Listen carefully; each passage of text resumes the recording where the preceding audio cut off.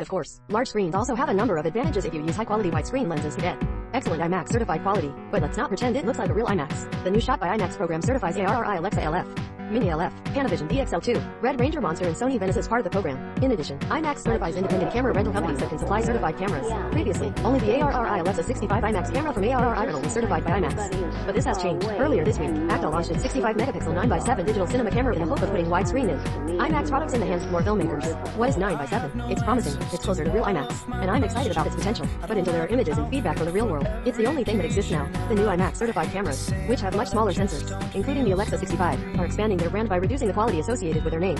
At least compared to the real IMAX 15 Pro, this is just an IMAX marketing exercise. Just like they didn't do much to promote IMAX screens, which were much smaller than conventional screens. I may have misunderstood something in this IMAX release or in article 9x7, but the above story has nothing to do with it. The good news is that IMAX only selects a limited number of films each year. Just line up for where IMAX certified press releases. So if you can get back to the movies, you can expect to see more IMAX content in the future. IMAX certifies a new fleet of cameras you can consider as Netflix certified IMAX versions.